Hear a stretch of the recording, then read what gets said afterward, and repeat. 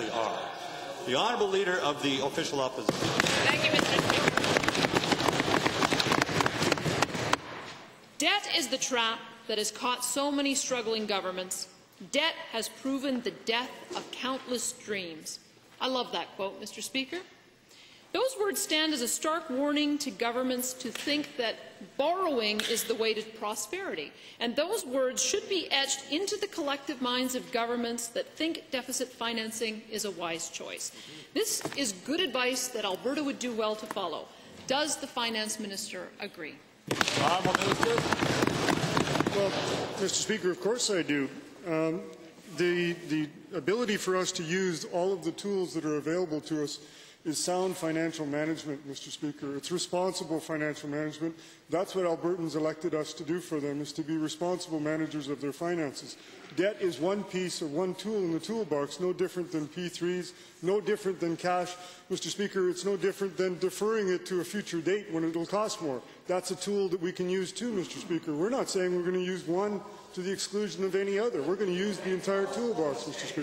Honourable Thank you, Mr. Speaker. I'm sure the Finance Minister didn't actually hear the quote, so I'll read it again.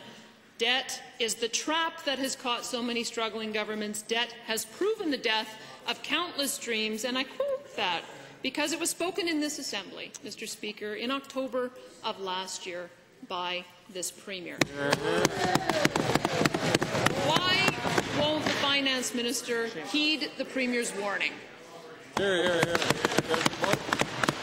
Mr. Speaker, we have a Financial Management Act in this province that precludes the Minister of Finance from borrowing for operating, and we intend to adhere to that Financial Management Act and that piece of the, of the uh, of that of that act, Mr. Speaker. The, the fact that we will not borrow to cover our operating any operating deficit is clear. We will balance our budget, Mr. Speaker. We will have a savings plan and we will have a capital plan. Mr. Speaker, there is, um, there is no doubt in my mind that the world economy is, is suffering, that uh, Canada, in fact, the federal government has deferred the, their balancing by another year. We will use all the tools necessary to provide Alberta with what they need. Honourable Leader of the Opposition. Mr. Speaker, capital debt is still debt. Roads and schools are the basics. We should look after these needs out of our regular spending, but this government has made too many unsustainable promises and now insists that it has to borrow for what should be regular upkeep. Upkeep. Why can't the finance minister prioritize and budget better than this? You know, Mr. Speaker, the honourable member has a school recently completed in her riding. That school was built using a P3 model, Mr. Speaker. It certainly shows the financial illiteracy of the other side when they can't see that P3s is a financial commitment of the people of Alberta for 30 plus years, Mr. Speaker, similar to any debt instrument that we might issue.